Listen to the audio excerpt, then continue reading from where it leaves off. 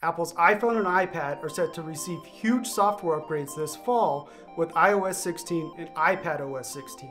And there's a long list of new features coming to both devices once it's released. But today I'm going to show you one of my favorite features that's pretty well hidden in both the iPhone and iPad's new operating system. I'm Jason Cipriani. Thanks for tuning in to this ZDNet how-to video where I'm going to show you how to use the Photoshop-like feature that Apple calls lift subject from background. All right, so I have my iPhone 13 Pro Max here running the iOS 16 developer beta slash public beta. This is on beta 4. Apple does make changes throughout the process, but this feature, lift subject from background, which is not sexy at all for a name of a feature, it's worked the same since beta 1. All right, so here's how the feature works. I'm on an iPhone 13 Pro Max running the iOS 16 developer beta. This is beta 4. Uh, Apple does change how features work throughout the beta process before the official release, but as of right now, this feature has remained unchanged. So I'm gonna take this photo here. It's my son about 10 years ago, really cute. And I don't want all the background on there. So what I do is long press on it. You can see how there was like a quick little flash.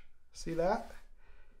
And I'm tapping on his head or long pressing on his head because if I do it on the on his shirt, it actually highlights the text on his shirt because iOS 16 will recognize text. But now I have this object that's cut from the background and you can see Apple did a really good job, or uh, the iPhone did a really good job. So what I can do is slide over to Messages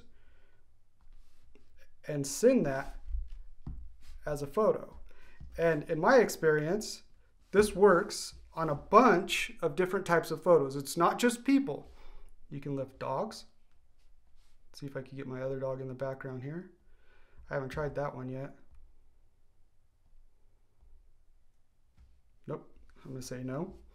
All right, Stanley Cup champion, Colorado Avalanche. That's what I'm talking about. Wish I had a hockey fan I could send this to right now. Nope, missed the drop. Try that again. Oh, selecting his, his jersey.